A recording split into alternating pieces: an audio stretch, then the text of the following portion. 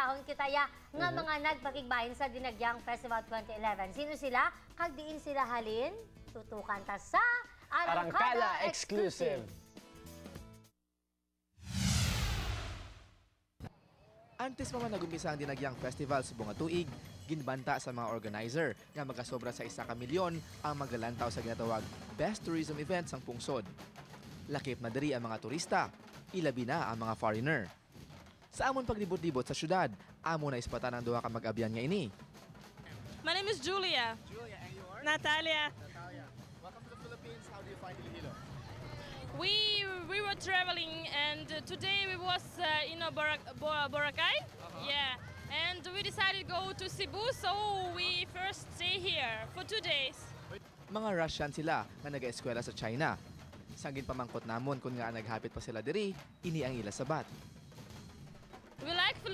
People because they're friendly, they're kind, and they're always ready to help you.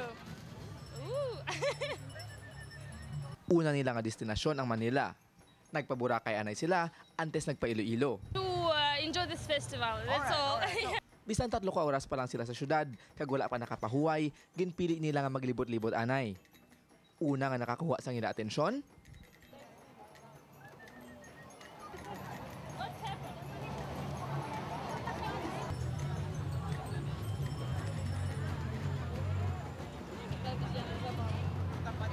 si Julia nagpasikat pa sa iya nabalaan.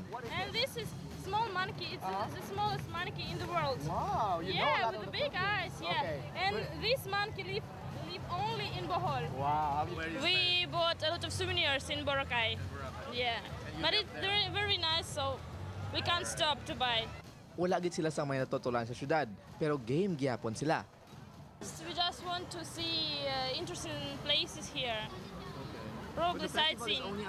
Sa unhan lang, may nasiplatan naman ang duha.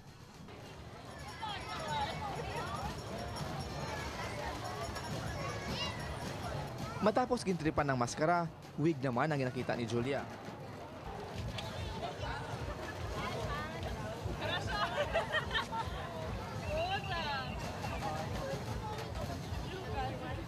Wala nagdugay, nakabatsyagi man sang gutom kag uhaw ang duha. That it's mixed with Chinese uh, cuisine and with uh, Thai cuisine and something like this, right?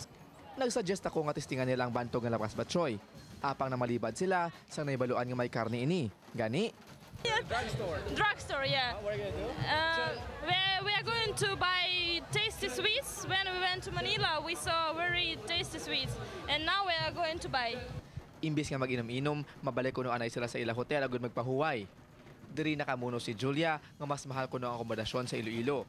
In Manila, we paid 1,700, and uh, in uh, in in Boracay, we paid 1,500. Yeah, it's because it's a peak Because it's a festival, I know, yeah. Diri na lang kuno sila anay asta, bangod ginatiganan nila ang ila energy sa mas madamo pangalagaway sa tunod nga mga inadlaw. We arrived to our hotel and we're going to sleep